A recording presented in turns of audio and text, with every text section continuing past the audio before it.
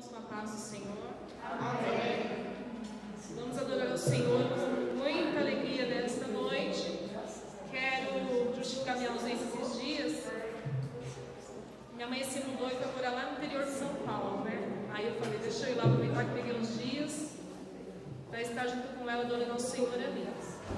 É, vamos louvar ao Senhor com o hino de número 174.